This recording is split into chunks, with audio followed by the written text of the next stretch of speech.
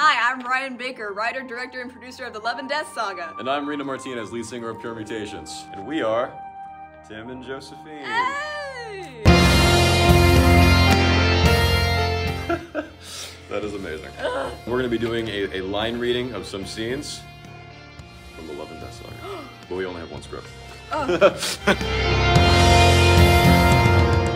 Sharing is caring, Tim. Sorry, Josephine. That's right. That's right. Wouldn't that be wild though? Like if everyone thought I was playing Tim and you were playing Josephine, but like all, the day of the show I go out in a wig. Dude, you wouldn't even need a wig though. That's true. I could just like shave, Yeah. shave, put on some lipstick. No, you don't even need to do that. Just like put on a dress and you're good. just keep the beard. I've been told that's more romantic. Yeah. Okay. Tim and Josephine's first scene together, their reunion here. Um, so this is right after your song, actually. Oh. Give life one last try.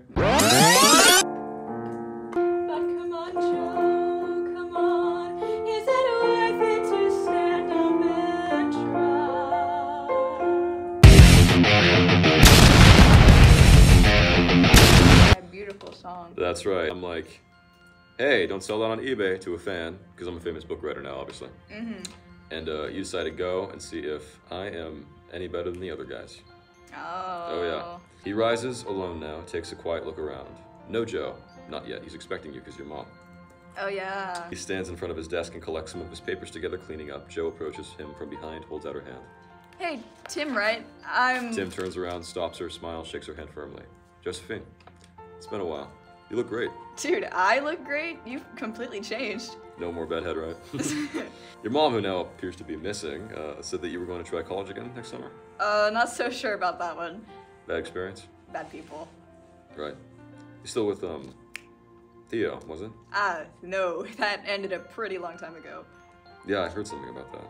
Then why'd you ask? Just being redundant, I guess. Happens to the best of us.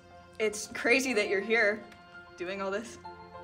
It's been rocky, but uh, I'm a firm believer in the philosophy that everything happens for a reason.